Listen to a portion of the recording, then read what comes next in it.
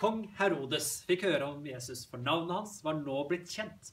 Noen sa døperen Johannes er blitt reist opp fra de døde. Derfor virker slike krefter i ham. Andre sa han er Elia.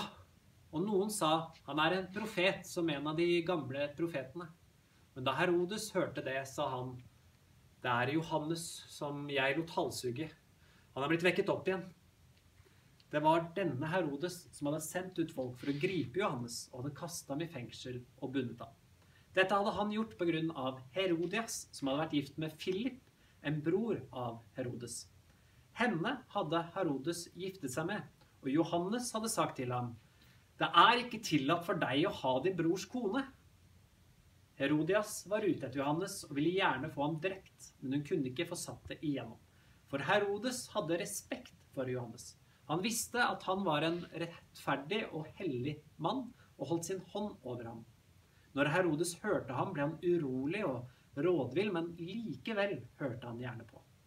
Men så bød det seg en anledning. På fødselsdagen sin holdt Herodes et festmåltid for sine fremste embetsmenn, offiserene og de ledende menn i Galilea. Da kom Herodias datter inn og danset. Herodes og gjestene ble så betatt at kongen sa til henne Be meg om hva du vil, så skal jeg gi deg det. Han sverget på det og sa, hva du enn ber meg om skal jeg gi deg, om det så er halve kongeriket mitt. Hun gikk ut og spurte sin mor, hva skal jeg be om? Hun svarte, hodet til døperen Johannes. Straks skyndte hun seg inn til kongen, skyndte hun seg inn til kongen og sa hva hun ønsket. Jeg vil at du med en gang gir meg hodet til døperen Johannes på et fat.